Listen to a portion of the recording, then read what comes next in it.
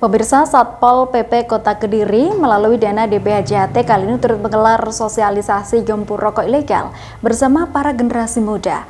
Acara ini pun juga turut mengundang beberapa karang taruna di wilayah Sumber Banteng, Kota Kediri.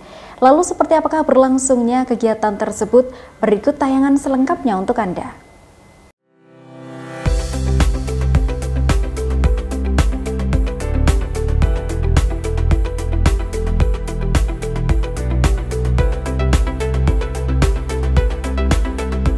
Pemirsa sebagai upaya untuk menekan peredaran rokok ilegal di kota Kediri, Satpol PP bersama Bea Cukai Kediri turut menggelar sosialisasi gempur rokok ilegal untuk generasi muda. Kegiatan ini diikuti oleh Karang Taruna yang diselenggarakan di Sumber Banteng, Kamis 20 Juni 2024.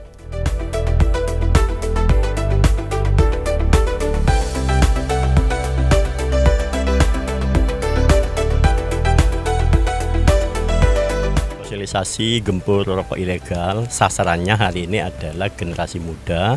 Kita mengundang perwakilan Karang Taruna dari seluruh kelurahan di kota Kediri. Jadi uh, sosialisasi ini uh, nantinya akan uh, ke semua komponen masyarakat. Masih tapi kita mengundang perwakilan. ya, jadi hari ini kita undang Karang Taruna minggu depan kita undang dari unsur pedagang, kemudian kemudian dari pengusaha-pengusaha jasa ekspedisi supaya bisa menekan peredaran rokok ilegal.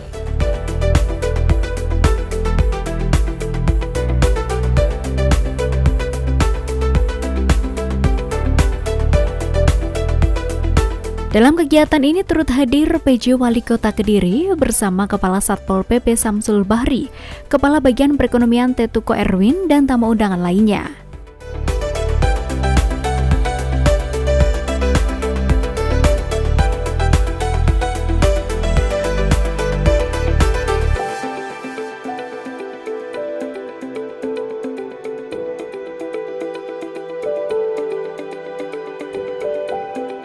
Untuk diketahui pemirsa, kegiatan ini juga sekaligus untuk meningkatkan masyarakat harus berhati-hati dan cermat apabila ada orang yang menawarkan rokok ilegal sesuai Undang-Undang Nomor 39 Tahun 2007 tentang cukai. Perang siapa yang menimbun dan menjual barang kena cukai ilegal akan ada ancaman pidananya. Apabila masyarakat mengetahui transaksi jual beli rokok ilegal bisa langsung melaporkan. Selain itu, juga sebagai sarana untuk edukasi masyarakat tentang rokok ilegal dan bertujuan untuk menekan peredaran rokok ilegal di masyarakat, khususnya kota Kediri.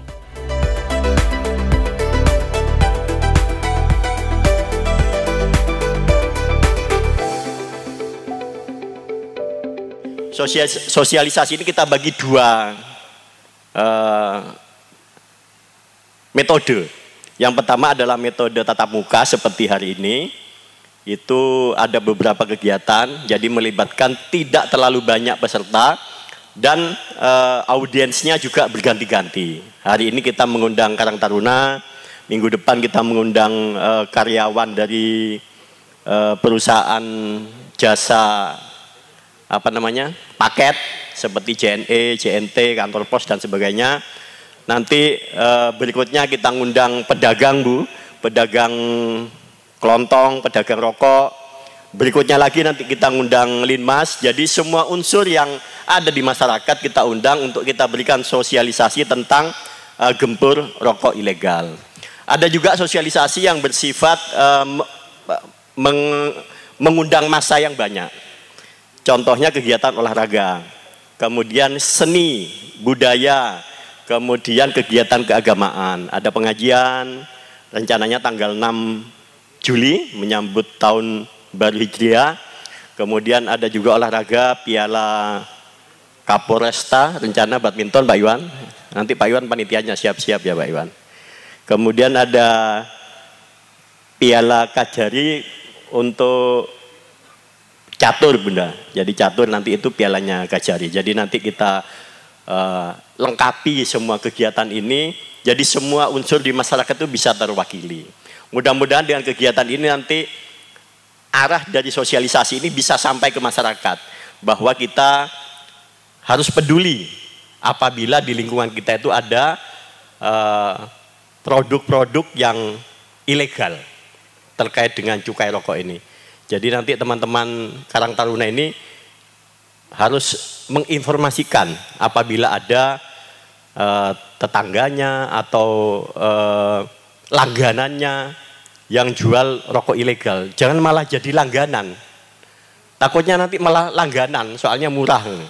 Itu tidak boleh. Jadi maksudnya kita ngundang ini supaya teman-teman Karang Taruna ini nanti peduli.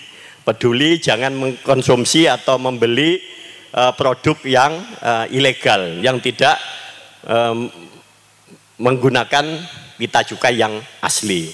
Kemudian jangan sampai memproduksi, jangan memfasilitasi, jangan mendistribusikan produk produk-produk yang ilegal. Saya kira itu saja tujuan dari sosialisasi ini